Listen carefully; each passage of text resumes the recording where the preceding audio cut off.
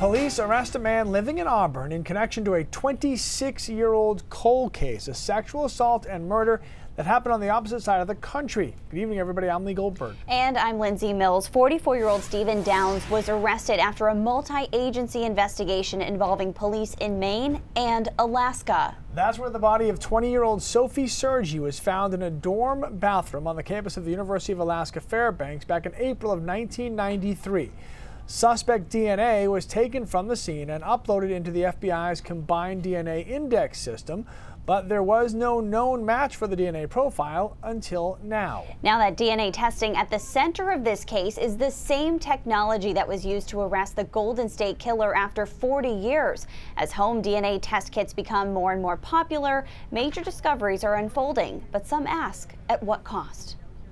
This arrest is the culmination of years of effort and tenacious attention by this department to solve a horrendous murder. An arrest in an Alaska cold case thanks to new DNA technology. You find a good match, it's like, we might be able to solve this case. Parabon Nanolabs out of Virginia has pioneered what it calls snapshot genetic genealogy. All of that has really come together into a perfect storm that's made this technology now possible. Before, DNA testing only matched close relatives. Parabon uploads DNA to a public database to find relatives as distant as third cousins.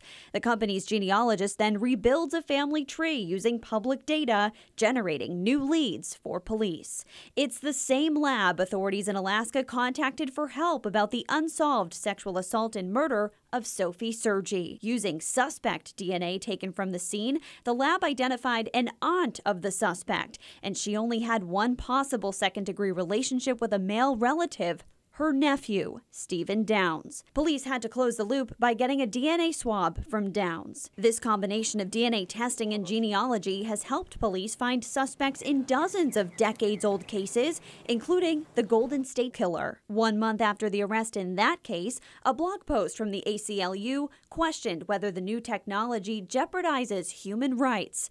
Blockbuster investigations, as gratifying as they are, shouldn't obscure the very real dangers of government access to sensitive information, wrote Vera Eidelman, an ACLU staff attorney. Meanwhile, authorities in Alaska are praising the lab's work. Justice for Sophie is finally within reach.